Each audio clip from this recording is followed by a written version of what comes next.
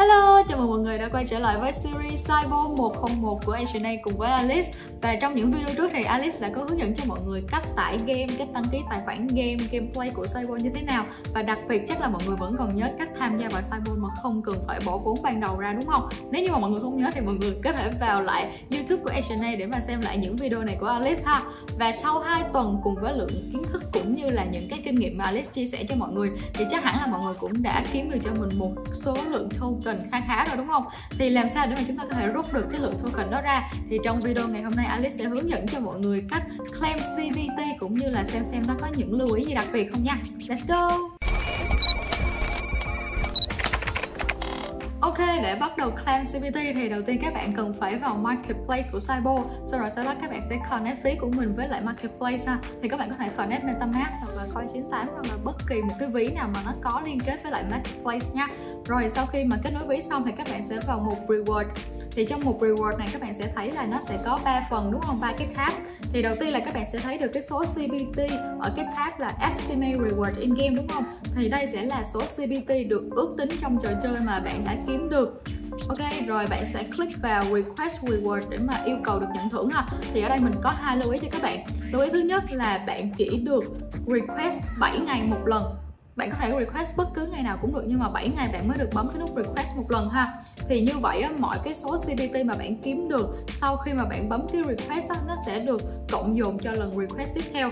Ok và cái lưu ý thứ hai đó là khi mà bạn bấm request á thì tất cả năng lượng ở trong game của cái tài khoản đó nó sẽ bị reset về không. Tức là ví dụ ngày hôm đó bạn chỉ mới chơi được có ờ, ờ, uh, 5 trận thôi bạn còn tới 45 năng lượng để mà chơi lận thì bạn sẽ bị rút hết về không khi mà bạn bấm request. Cho nên hãy nhớ là ngày nào mà các bạn bấm request á, thì các bạn hãy chơi hết trước khi chơi hết năng lượng trong game trước khi rồi các bạn hãy bấm request nha.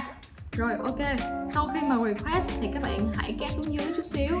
Rồi click vào cái ô là refresh reward list để mà làm mới cái danh sách phần thưởng ha. Thì nó sẽ hiện ra cho bạn cái dòng mà bạn vừa mới request lúc nãy.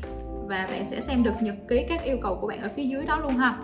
Rồi các request mới nó sẽ có trạng thái là in process, nghĩa là đang xử lý như thế này nhé. Rồi bạn sẽ phải chờ để được gọi là approve được phê, được phê duyệt các mọi người vào lúc 1 giờ UTC thứ ba hàng tuần tức là 8 giờ tối Việt Nam ha mọi người rồi, nếu mà được phê duyệt thành công á, thì cái dòng request này nó sẽ đổi thành là ready claim Tức là sẵn sàng để mà claim được rồi ha.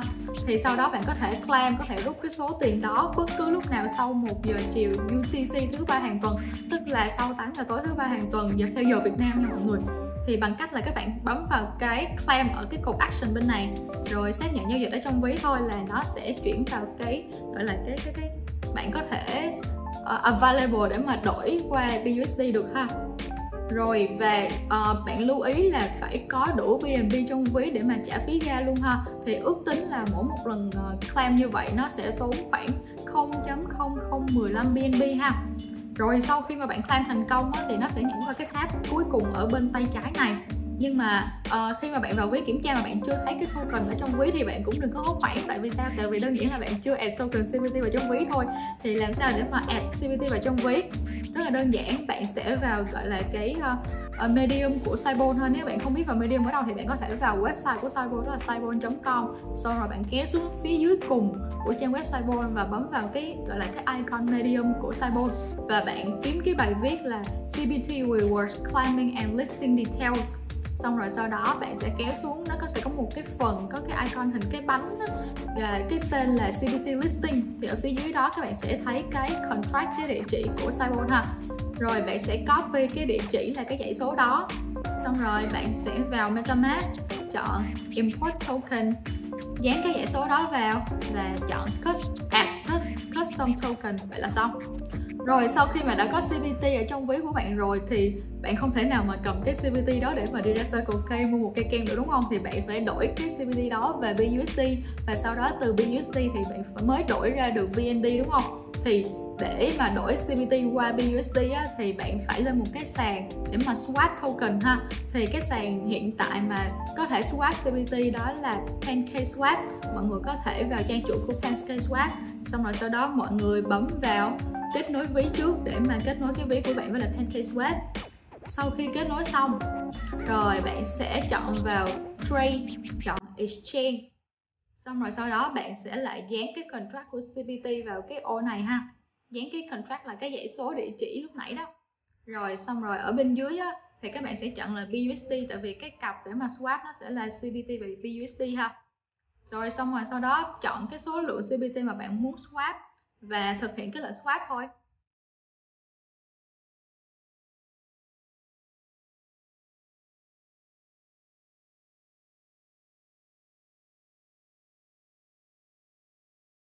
Ok, sau khi các bạn đã swap thành công CBT sang BUSD ở trong ví MetaMask rồi thì bây giờ chúng ta sẽ cùng đổi BUSD sang VND luôn nhé. Rồi đầu tiên các bạn sẽ vào sàn Binance thì đương nhiên là các bạn cũng sẽ phải có một cái tài khoản Binance rồi ha. Rồi các bạn sẽ vào wallet, chọn Fiat and Spot. Đợi một chút xíu nha.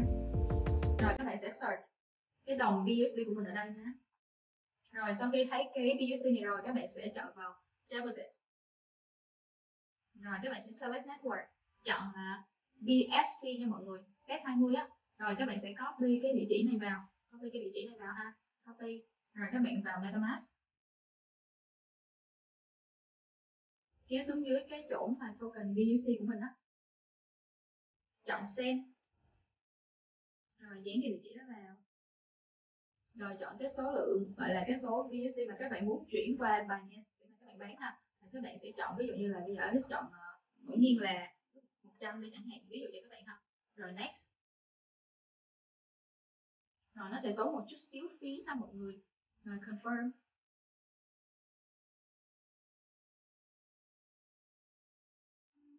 Rồi bây giờ chúng ta sẽ đợi một chút xíu để mà chuyển qua bên sàn Binance của mình nhé. Rồi sau khi mà chuyển xong á, thì nó sẽ hiện cái màu xanh lá như thế này đây ha. Rồi các bạn sẽ vào Binance để mà các bạn kiểm tra trong ví của mình nhé.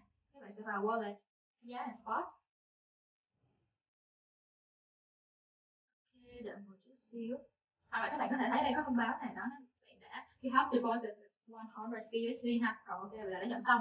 Rồi, sau khi mà nhận xong thì làm sao để là chuyển qua VND các bạn sẽ cần phải chuyển cái BUSD ở trong cái ví Fiat and Spot này sang cái ví funding. Tại vì chúng ta chỉ thể bán ở trên cái ví funding được thôi.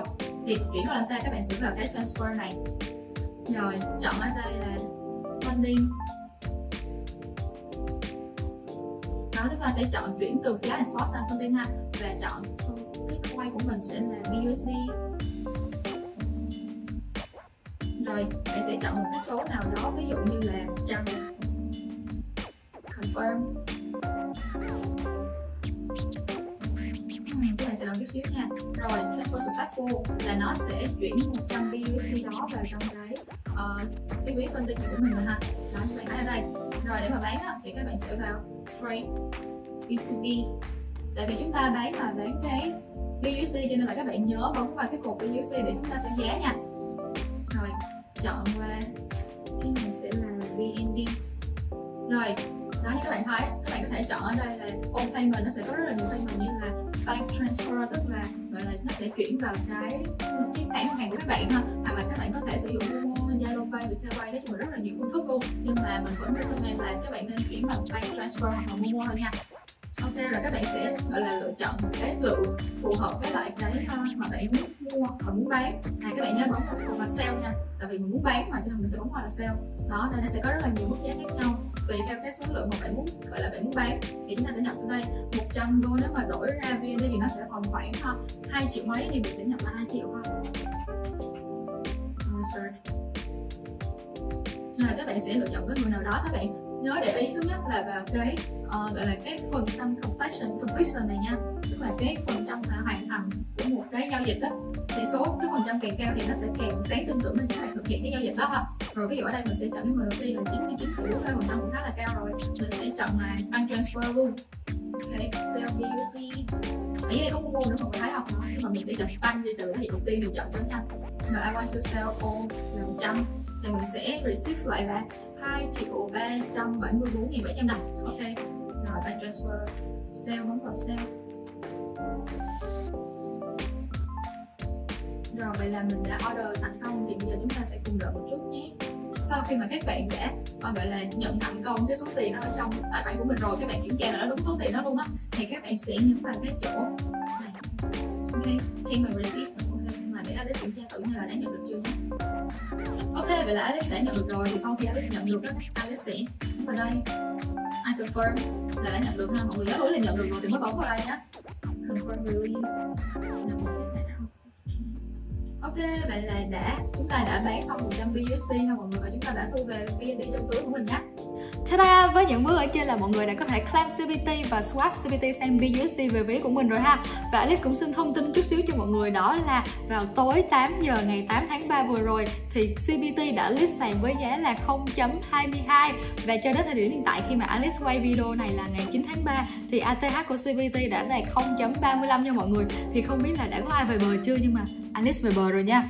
Thì mọi người cũng xin lưu ý đây không phải là một lời khuyên đầu tư. Đây chỉ là một video Alice review về một tựa game mà Alice có tham gia và cảm thấy nó khá là tiềm năng và muốn thông tin đến cho mọi người, hy vọng là mọi người có thêm được một cái tựa game vào cái portfolio của mọi người ha. Và mọi người hãy nhớ là tất cả mọi quyết định là đều nằm ở các bạn cho nên là uh, trước khi mà quyết định tham gia hay đầu tư một tựa game nào đó thì mọi người nhớ research và tìm hiểu thật là kỹ nha. Và nếu như mọi người cảm thấy video này hay video này hấp dẫn thì hãy cho Alice cũng như là đội ngũ của channel một like và một subscribe để ủng hộ tụi mình ra những video tiếp theo chất lượng hơn và mang đến cho mọi người nhiều tựa game hơn nữa nha. Còn bây giờ thì xin chào tạm biệt và hẹn gặp mọi người trong những video tiếp theo. Bye bye!